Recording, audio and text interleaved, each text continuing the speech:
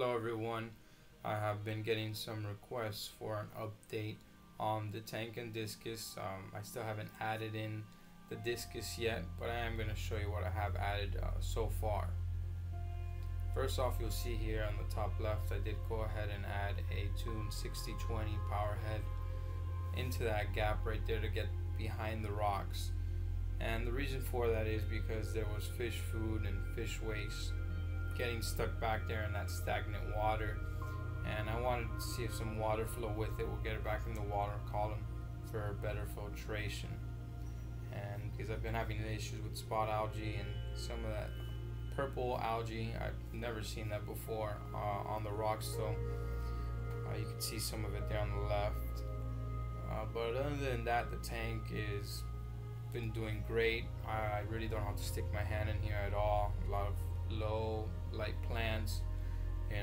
very slowly the moss I haven't had to trim it back or anything like that trying to make this um, you know least maintenance tank as possible.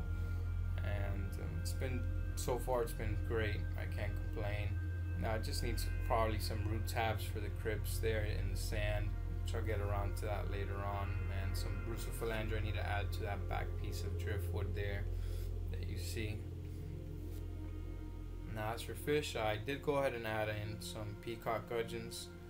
I added about four of them. I really love these little guys. They do great in community tanks and can take temperatures up to 82 degrees. So I'm gonna see how it goes with them. You know, maybe I might raise it a little bit higher for the discus, but we'll play that by ear.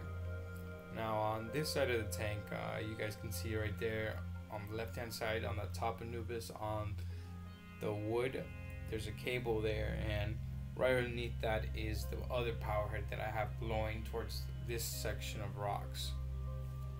You can see it right there and it's basically doing the same thing. I wanted to get two of them to go ahead and circulate each side. I might add another one um, up here on the right hand side just blowing towards the center of the tank.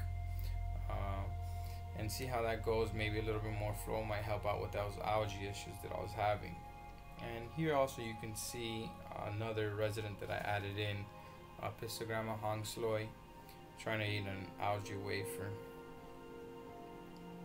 And here on the crypts you can see it a little bit uh, some of the spot algae that I'm having to deal with.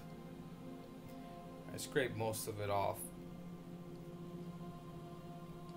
And also I did go ahead and add in uh, Pistogramma mcmasteri I really love dwarf cichlids.